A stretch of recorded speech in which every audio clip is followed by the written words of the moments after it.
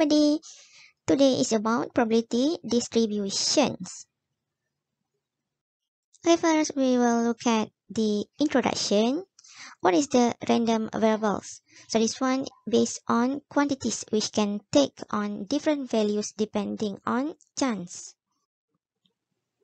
For example, number of persons visiting KLCC each month and the length of leaf of a certain tree. There are two types of random variable. So first one is discrete random variable. Second one is continuous random variable. First, we focus on discrete random variable. Okay, at the end of this session, you will be able to identify whether an event is a discrete or not. And second is you can compute probabilities associated with the distribution. Number three, you can calculate the mean and variance. And last one, you can apply the properties of mean and variance. Okay, first look at what is the discrete random variable. So this variable has exact numerical values obtained by the process of counting. So normally we count 1, 2, 3 and so on. For example, number of students in the library at a certain hour. Second example, number of cars passing a certain junction. And third example, number of students getting an A in statistics exam. This one based on number means by the process of counting. First example, a fair coin is tossed three times. Suppose the variable x is defined to be the number of times h occurs. So what is h? h represent head. Construct a probability distribution for x and then show that x is a discrete random variable. So how to construct a probability distribution for x? Recall back, what is the experiment? So experiment here is a fair coin is tossed three times. So you may construct tree diagram to obtain the sample space. And then what is the sample space? Recall back, sample space is a list of all possible outcome. So from the tree diagram, this is all the possible outcomes from the experiment. Then recall back what is the x, the number of times h occurs. So based on the sample space, x may be 0 or maybe 1 or 2 or 3. Why 0? Based on this outcome, T, T, T means no H. Then, from the sample space, you may construct the probability distribution of X using this basic concept, NA over NS. So let's say A represent X equal to 0 here. When X equal to 0 means no H. So no H based on T, T, T. 1 outcome. And then NS. What is the NS? Total of possible outcome. How many outcome? 1, 2, 3, 4, 5, 6, 7, 8. So NS equal to 8 based on all possible outcomes. Therefore, probability of x equal to 0 is 1 over 8. Then, show that either x is a discrete or not. Back to basic concept. Add up all the probability values. At the end, you got summation equal to 1. Therefore, x is a discrete random variable. Okay, we proceed to example 2. Given that x is a random variable with probability distribution as given below. First question, show that x is a discrete random variable. So, back to basic concept. Sum of probability value here must be equal to 1. So, you plus all the probability values 0.2 plus 0.35 plus 0.3 and then plus 0.15 equal to 1. Therefore, x is a discrete random variable. Second question, find the probability that x is less than 4.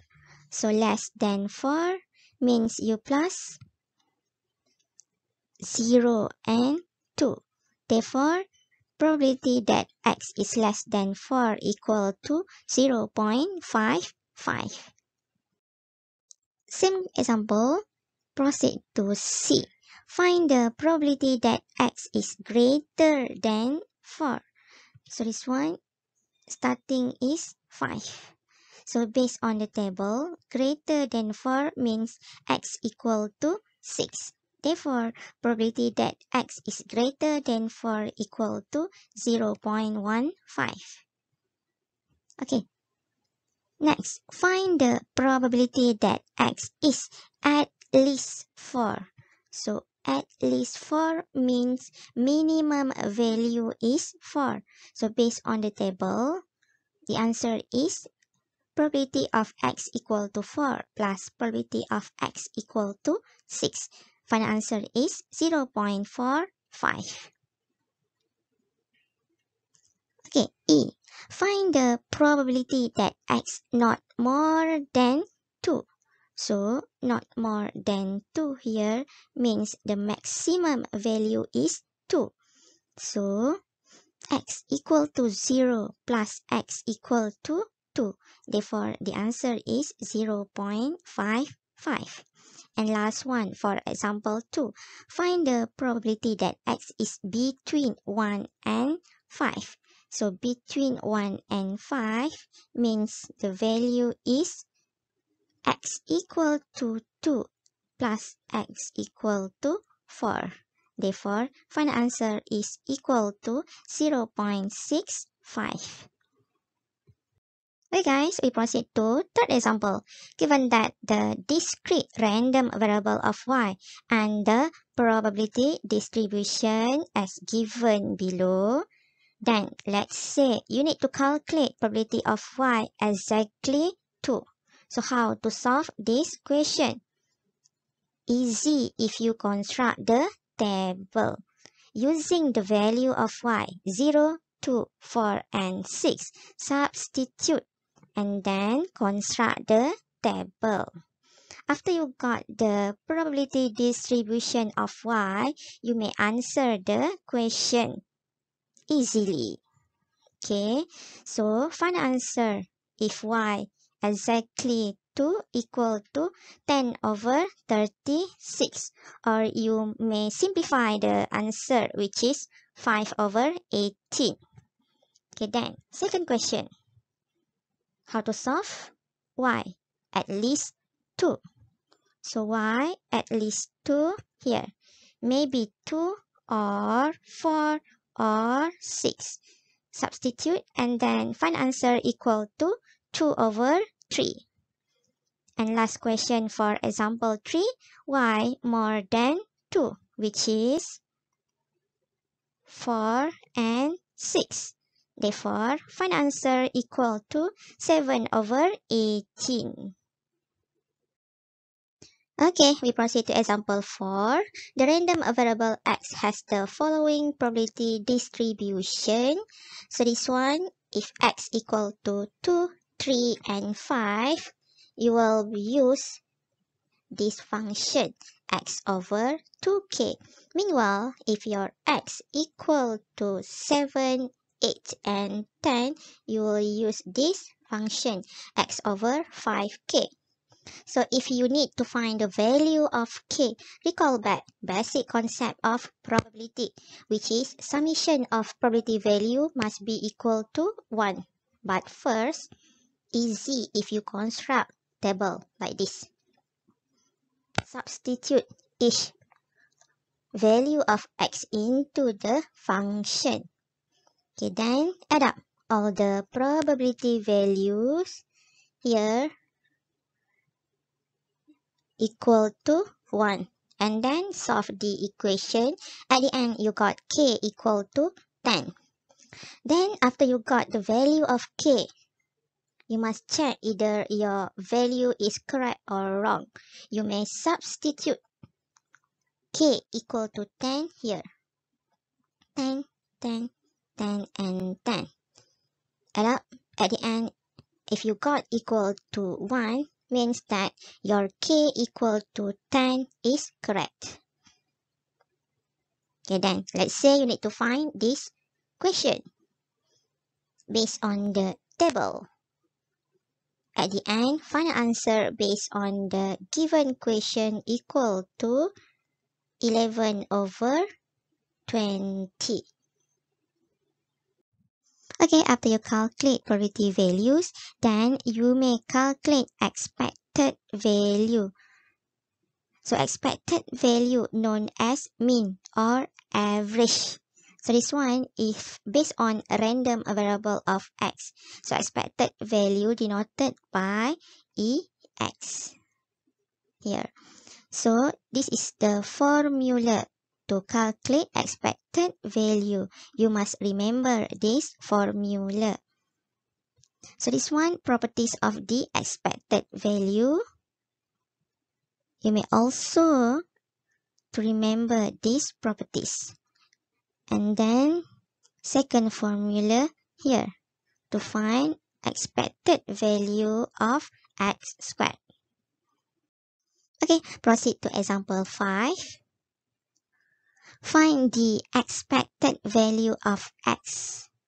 So, based on the table, substitute value of x and probability of each value of x.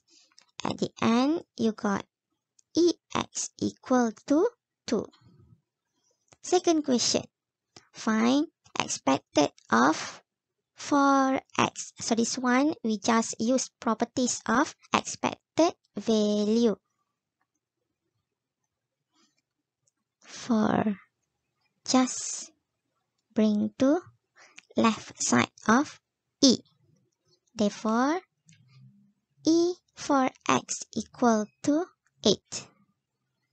Third, find EX squared. So you may use this formula to calculate the value of expected of EX squared. And then find answer equal to 6.7. Same probability distribution function. Let's say you need to calculate expected 2x squared. Using properties, substitute the value of 6.7 which is expected value of x squared and then find an answer equal to 13.4. Next, E, you need to find expected of 3x plus 2 using properties. At the end, you got 8. And then F, Find expected of 2x minus 3. Using properties you got, find answer equal to 1. And then last question, find this question.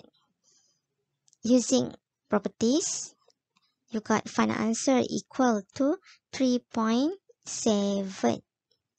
So this one, you may solve the question based on the properties after you calculate expected value of x and expected value of x squared. Okay, after you calculate mean or expected value of x, you may also calculate variance. So, the variance of a discrete random variable x is given by this formula you must remember this formula and then also the properties of the variance. Okay, look at this example 6. First question, find expected value of x. Using this formula, substitute. At the end, you got ex equal to 2.7. Then, second question, find variance of x. You need to calculate expected value of x squared using this formula. And then you got final answer equal to 9.3 but aim of the question you need to find variance of x. So using this formula substitute at the end variance of x equal to 2.01 and then proceed to C find expected 2x plus 3 using properties substitute and then at the end equal to 8.4. Continue for example 6, question D and E. Okay, first, question D. Find variance of 3 minus 4x. So using these properties, substitute, and then find the answer you got 32.16. Okay, then question E.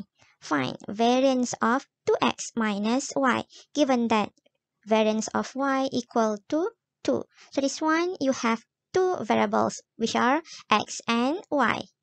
So you may use these properties. Substitute variance of x and y. At the end you got final answer is 6.02.